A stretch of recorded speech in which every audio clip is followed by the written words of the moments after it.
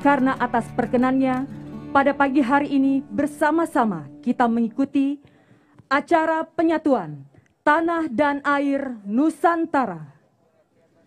Hadirin yang kami hormati, prosesi penyatuan tanah dan air yang telah dibawa oleh para gubernur seluruh Indonesia yang diserahkan kepada Presiden Republik Indonesia dan akan dituangkan langsung ke dalam bejana Nusantara.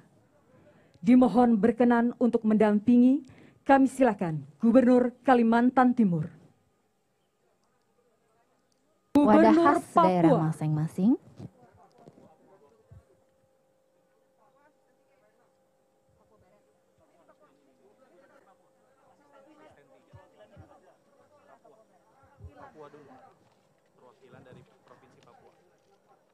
Perwakilan dari Provinsi Papua. Asisten 3. Tas anyaman khas Papua. Tentu kendi, air dari tanah Papua.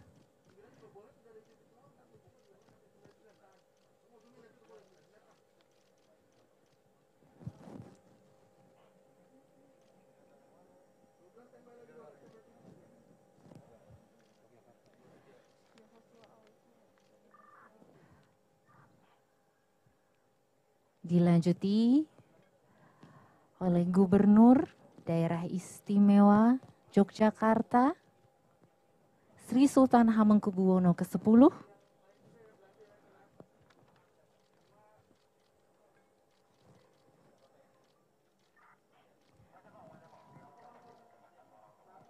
tanah dan air dari setiap daerah mempunyai cerita dan simbolnya masing-masing filosofinya. Perwakilan provinsi membawa mengambil tanah dan air dari tempat-tempat sakral, tempat-tempat spesial atau mungkin kami masih Gubernur menyaksikan prosesi penyatuan tanah dan air Nusantara di mana nanti Presiden Jokowi sendiri akan menggabungkan keseluruhan tanah dan air dari 34 provinsi ke sebuah gentong yang sudah kami lihat.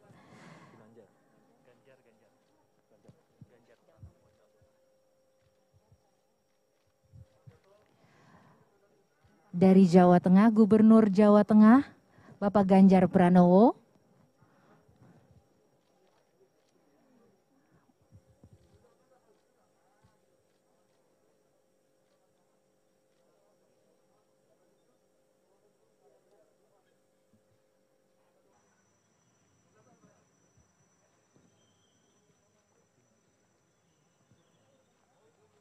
ke dalam gentong yang nantinya Bapak Ibu yang kami hormati, bersama telah Leluhur. kita ikuti prosesi penyatuan tanah dan air oleh Presiden Republik Indonesia bersama para gubernur untuk ibu kota negara Nusantara. Dan selanjutnya, marilah kita simak secara seksama sambutan Presiden Republik Indonesia, Bapak Joko Widodo.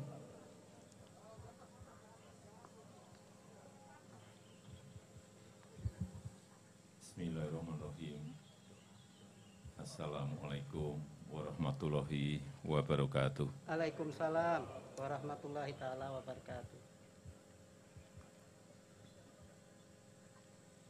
Selamat pagi, salam sejahtera bagi kita semuanya. Om Swastiastu, Namo Buddhaya, salam kebajikan. Pada hari ini, Senin 14 Maret tahun 2022, kita hadir bersama-sama di sini dalam rangka sebuah cita-cita besar dan pekerjaan besar yang akan kita segera mulai, yaitu pembangunan ibu kota Nusantara. Saya hadir di sini bersama-sama dengan 34 gubernur dari 34 provinsi di seluruh tanah air, bersama-sama dengan 15 tokoh masyarakat dari Kalimantan Timur, dan kita tahu baru saja tadi tanah dan air yang dibawa oleh 34 gubernur telah kita satukan di tempat yang akan jadi lokasi ibu kota Nusantara dan saya ingin mengucapkan terima kasih yang sebesar-besarnya kepada para gubernur. Ini merupakan bentuk dari kebinekaan kita dan persatuan yang kuat di antara kita dalam rangka membangun ibu kota Nusantara ini. Kolaborasi antara pemerintah pusat, pemerintah daerah, TNI, Polri, swasta, dan seluruh masyarakat dalam mendukung pembangunan ibu kota negara ini akan sangat membantu agar apa yang kita cita-citakan ini bisa segera terwujud. Saya juga ingin mengucapkan terima kasih yang sebesar-besarnya kepada lembaga-lembaga tinggi negara, MPR RI, DPR RI, DPD RI, Mahkamah Agung, Mahkamah Konstitusi, Badan Pemeriksa Keuangan, Komisi Yudisial,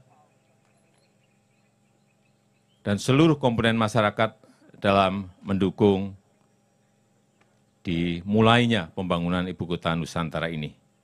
Mudah-mudahan kita berdoa semoga hidayah dan barokah dari Allah Subhanahu wa taala memberikan kemudahan dan kelancaran kita dalam membangun ibu kota Nusantara ini. Terima kasih. Saya tutup. Wassalamualaikum warahmatullahi wabarakatuh.